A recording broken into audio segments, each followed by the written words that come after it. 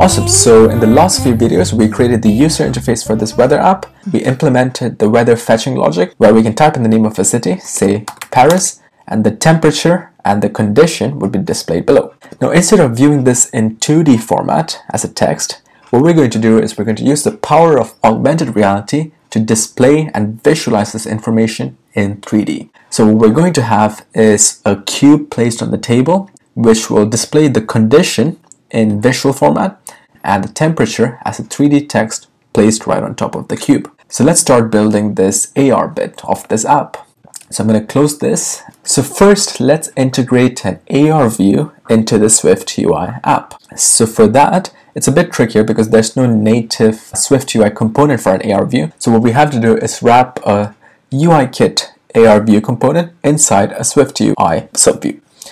For that, let's first of all create a separate section. So we're going to do that here by first creating a struct called AR view container. This would inherit from the UI view representable protocol. And as you can see, this is a wrapper to convert a UIKit view to a Swift UI view. Awesome. So let's create that. Inside, we need to add in some methods that will conform to this protocol. Firstly, it's type alias uh, UI view type. And this would be an AR view. And next we need to implement the make UI view method and also the update UI view method. And the make UI view method should return an AR view. Great, so now if we click build, it should compile fine. It says cannot find AR view in scope, cannot find AR view in scope. Type AR view container does not confirm to protocol UI view representable. And that's because we need to import the ARKit framework here, but also the RealityKit framework. framework so reality kit. So now if we click build, it should work fine. And here you need to return an AR view. Yeah, we'll do that once we make the AR view here. So let's do that now. So here what we need is an AR view and we're going to access that AR view in a different piece of code to add in planes, do anchors and all that AR bit. So for that, what we're going to do first is not create the AR view here, but create a separate script. I'm going to name it AR view controller. So I'm going to call this AR view controller. First import reality kit, also AR kit.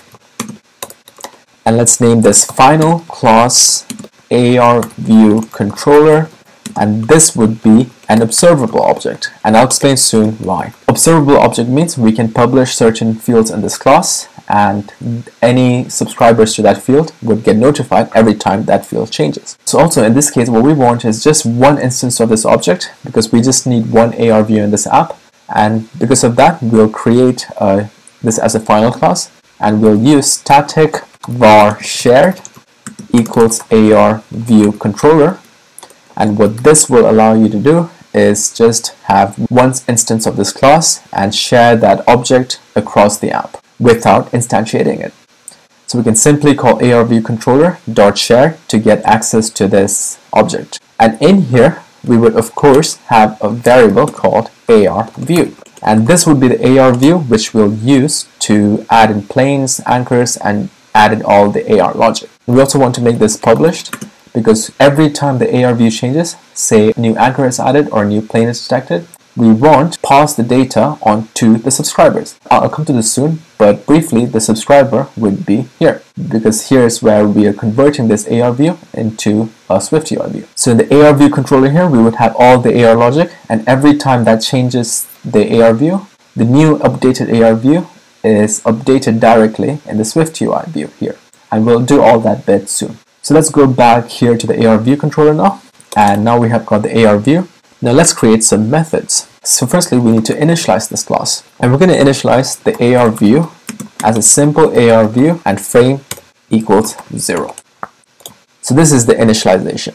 And next, we want to create some functions to start the AR session and plane detection, namely horizontal plane detection, because here we want to detect the surface of a table. And so first, the master function here, which will have public access, as you can see here, Firstly, we want to start plane detection and then we want to start top detection.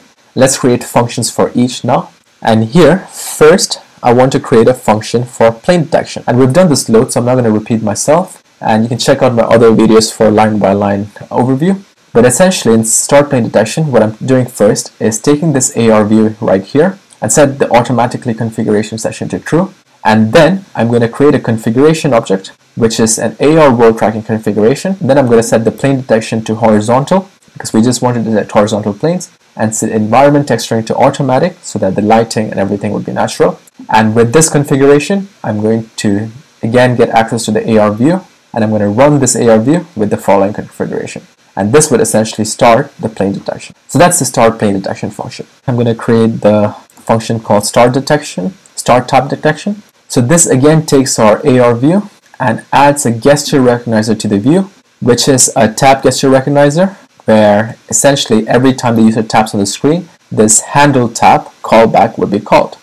And we need to define this handle tap callback now, and that's the callback that is called every time the user taps on the screen. And in here, we could get access to the 2D location to the screen. So next, let's create the handle tap method. So I just created the handle tap method here. That's this. And again, the handle tap method is prefixed with an objc because this is an Objective-C interface here because of the selector. Inside here, first we get access to the 2D location of the tap on the screen by taking in the recognizer and getting access to the location in the AR view.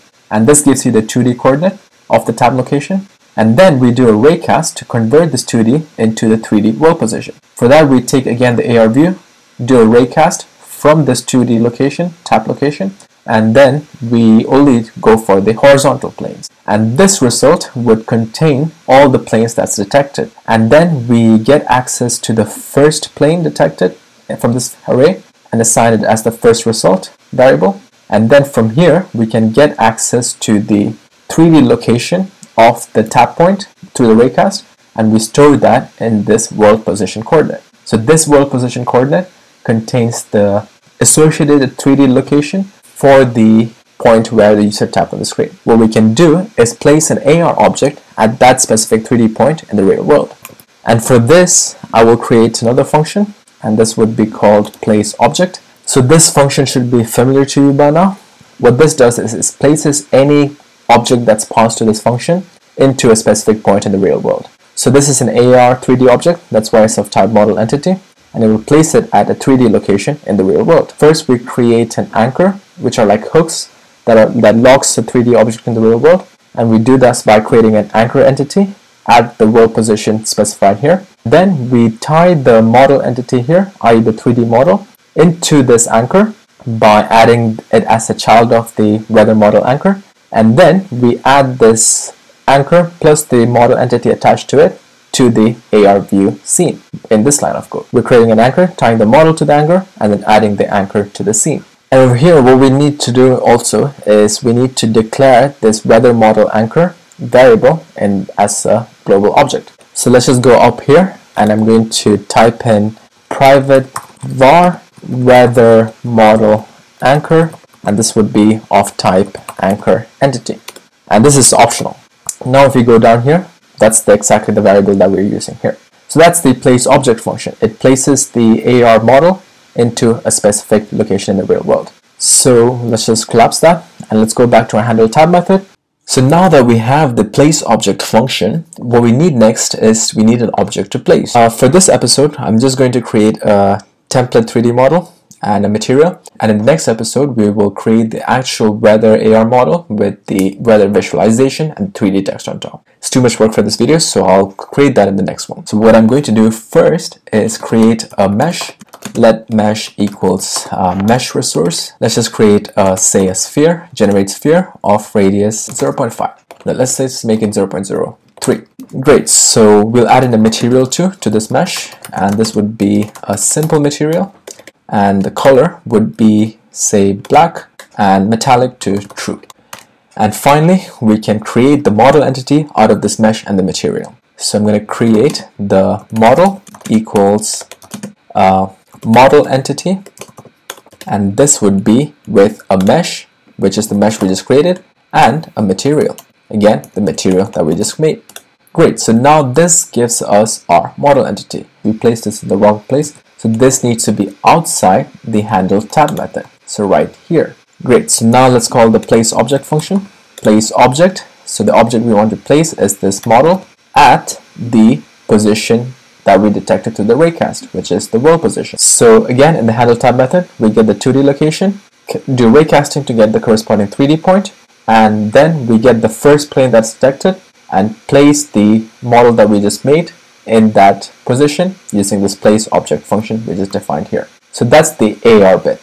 Now let's just collapse all bit, take a helicopter view, and now what, we, what will happen is every time we call the start AR session function from a different class, what will happen is it would start the plane detection and it would start the tap detection and then every time a user touches on the screen, a ball would be placed at the table at the point where the user tapped. So that's what this class will do. And all we have to do simply is call the start AR session from outside. And, and we also have to remember every time a new ball is added, a new anchor is added, this AR view would get updated because the anchors are added to this AR view variable.